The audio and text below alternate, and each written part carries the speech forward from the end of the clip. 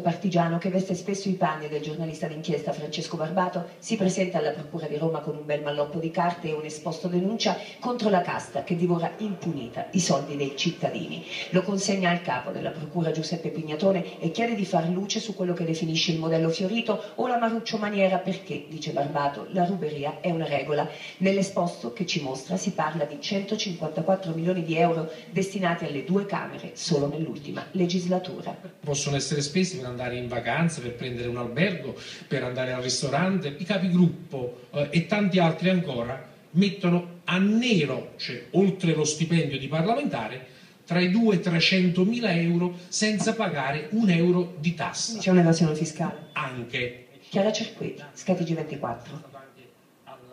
Un vero e proprio tesoro da 14